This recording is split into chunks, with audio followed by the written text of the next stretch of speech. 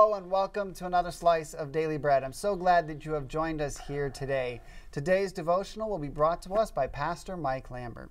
As always, Pastor Mike, welcome to Daily Bread. And it's a pleasure to be with you again, Lowell. Now, as we always do, before we begin, let's open with a word of prayer. Lord, we thank you for your many blessings towards each one of us. We thank you for your precious word as well. And as we open its sacred pages and study today, I pray that your Spirit will bless us and guide us. We thank you. In Jesus' name, amen. Amen. Well, I'd like each one of you to join me, grab your Bibles, and we want to go to the book of Psalm. We're going to be reading several verses from the 143rd Psalm. So, Psalm 143, we're going to start with verse number 1 and we're going to read through verse number 7. And verse 7 is going to be our key thought. So, here we go. Verse 1 says, Hear my prayer, O Lord, give ear to my supplications. In thy faithfulness answer me, and in thy righteousness. And enter not into judgment with thy servant, for in thy sight shall no man living be justified. For the enemy hath persecuted my soul, he hath smitten my life down to the ground. He hath made me to dwell in darkness as those that have been long dead.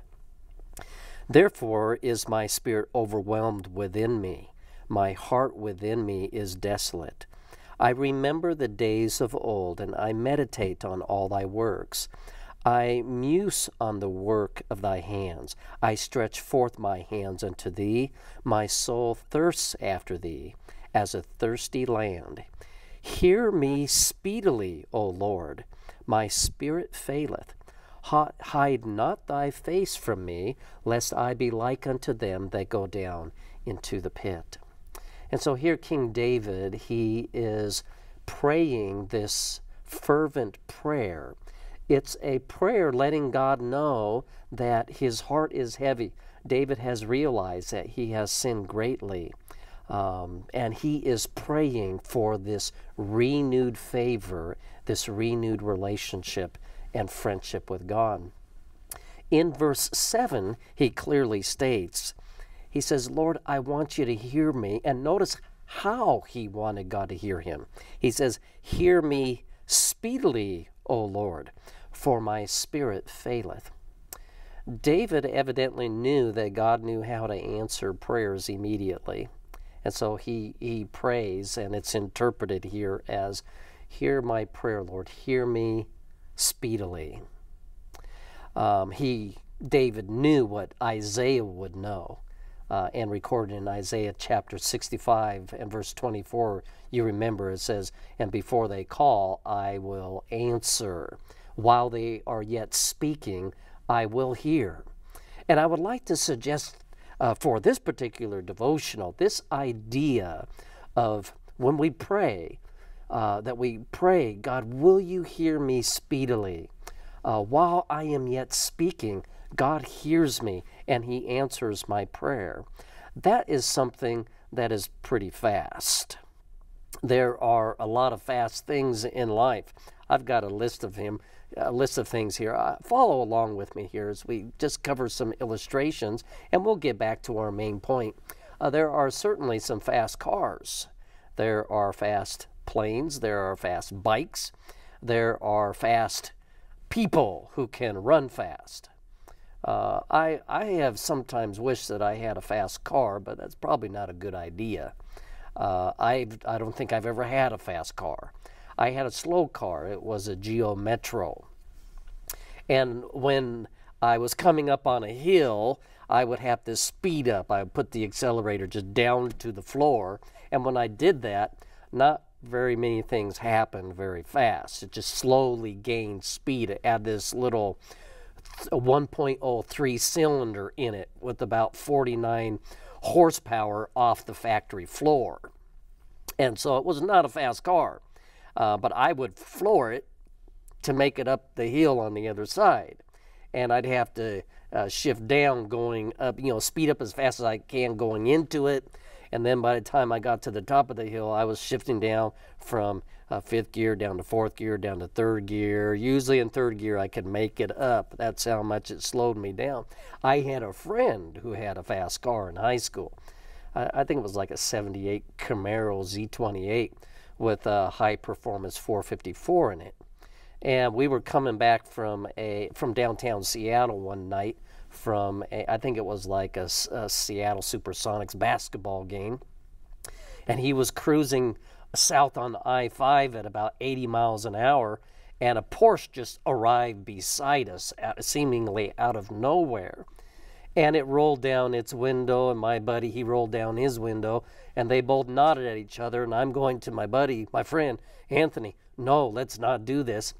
Of course, he didn't listen to me, and we took off, and I saw the speedometer going past 120 miles an hour, and I decided I was just going to close my eyes and pray and that uh, uh, that Porsche, by the way, was a fast car. It left us behind in the dust.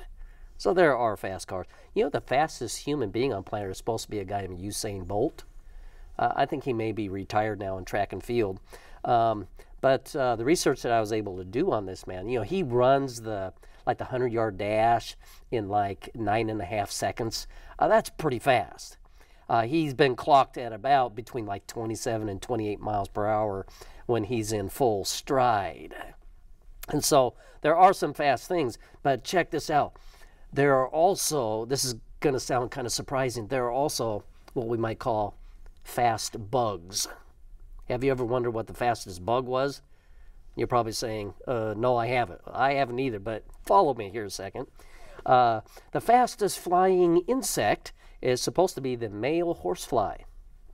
And I guess this, have you ever tried to catch a fly? I have. For me, it doesn't work very well. Uh, the male horsefly is supposed to be like the fastest flying insect. Uh, the male horsefly can catch up to a female horsefly. Check this out. And can catch the female in midair, drop her to the ground for mating purposes, and they can he can catch up to he can the male could be sitting somewhere, the female flying by, he catches up like that. Uh, entomologists have tested how fast this uh, male ho- horsefly can go, and evidently they got a pellet gun. This is how they tested it. They got a pellet gun and kind of doctored it up to where it kind of looked like a, I guess, a female fly. I don't know what you do to make that happen. Uh, and then they they shot the pellet, and the male horsefly caught up to the pellet and dropped it to the ground before it hit its target in the room that they were in. And the pellet was going like over 90 miles an hour. Uh, the male horsefly is fast. Another notable insect, uh, there's, there's an insect that's called the dull colored moth. I guess it's also called the black cutworm moth. It's got a wingspan. Check out its wingspan. It's got a wingspan of like five centimeters. So we're talking about a small moth. Uh, and it can fly an average airspeed of five to eight miles per hour. So if you can kind of picture that, this moth with a five centimeter wingspan flying five to eight miles an hour, that's the average speed. Um, but I don't know how these entomologists work on this, but they say that these moths, uh, when they are riding a cold front, a storm that's coming in, uh, that these moths have been recorded to uh, be able to fly, keep up with the wind, so to speak, when it was going 70 miles an hour. That's pretty fast. Uh, the fastest moving land insect is supposed to be the Australian tiger beetle. And uh, we understand that these things can move.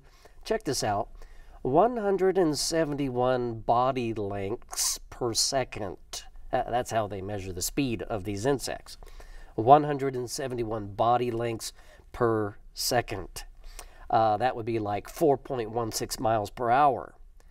Uh, and if we kind of match that over to like a human being, let's take a six foot tall man, that would be a few inches shorter than Usain Bolt, uh, a six foot tall man uh, running as fast as that, that is uh, like 171 body lengths per second. Usain Bolt can run like six body lengths per second. That's pretty fast. Fast. I would probably run like one body length per second.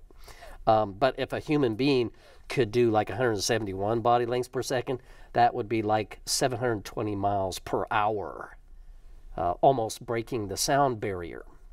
And so there are certainly some fast things in the animal kingdom. Isn't that true?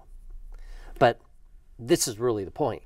While these record breaking bugs, I'll put it that way, these fast bugs, these record breaking bugs are certainly speedy and impressive. God really holds the speed record. And David understood that when David was praying. He was saying, Lord, my heart is heavy. I'm distraught. Will you show me your mercy? Will you answer my prayer and answer it speedily? There were times when David's life was in danger and he prayed, and God answered his prayer. Here in Psalm 143, it's, we don't see it so much as a situation where his life is in danger, but it's a situation where he was asking for the tender mercies of God, where he was asking, where he's confessing his sin, asking God to forgive him. And he was asking God to do this how? Speedily. He knew what Isaiah would come to know. Before they call, I will answer. While they are yet speaking, I will hear them. John put it not so much in a speed way, but he said in 1 John 1 9, If I confess my sin, he is faithful and just to forgive me and cleanse me from all unrighteousness. Uh, so, how are things in your life? How is your prayer life? You know, if we are to grow spiritually, we must be people of prayer. And with that, I hope that you understand that when we pray, God can answer speedily. Daniel prayed one day, and Gabriel came and answered his prayer. And Gabriel told him, At the beginning of your supplication, at the beginning, when you started to pray, God told me to give you the information you were asking for. And Gabriel left heaven and traveled through the who knows what the distance is? These millions of light years of space from God's throne to the Middle East in on planet Earth where David was where uh, Daniel was praying. And uh, the angel Gabriel arrived with the answer before Daniel said amen. And by the way he arrived in one piece. You know God can do things quickly for you and for me. And you and I can trust a God like that. We can pray, Lord, will you forgive me? And He forgives us and fully justifies us. We can pray, Lord, will you make me like you? And He will answer that prayer and He will sanctify us. We, we can pray, Can you help me to share your love with others? And He can immediately answer that prayer and give us a double portion of His Spirit so that we can share the blessings to others. Well, David's prayer simply is this Lord, hear me speedily. We have fast things here on earth, and if we have fast things down here, God can certainly answer just as fast. Will you pray with me? Our Father in heaven, we want to thank you so much for the privilege that we've had to consider your word and we want to thank you that you're the type of God who hears while we are speaking. And that before we call, you can answer. You know our situation. You know who we are and what we're going through. So we ask that you will help us to be prayerful, that we will remember to pray each day, and that your answers can come speedily.